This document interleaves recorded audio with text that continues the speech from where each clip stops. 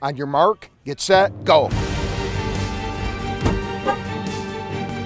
Focus, focus, concentrate, concentrate. As you can see, the rain is kind of. We train harder to bring you the best high school football coverage in the Heartland. Great job, Adam. Just one more thing. What's that? Keep your head on a swivel. Heartland Football Friday kicks off August 17th, only on KFVS 12.